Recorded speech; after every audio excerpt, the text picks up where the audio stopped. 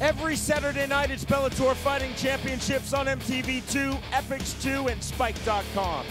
Our Bellator 56 moment from Memorial Hall in Kansas City, Kansas, comes from Eric Prindle versus Ron Sparks. Both men a great deal of respect for each other's power punches and power kicks. Low kick. Oh, good right hand. That's it. Huge right hand, and that is it. Just like that. Let's see if we can get a look at the knockout here. Came off the low kick and a left hook right over the top. Flattened Ron Sparks the right and the left for good measure, but this fight was done.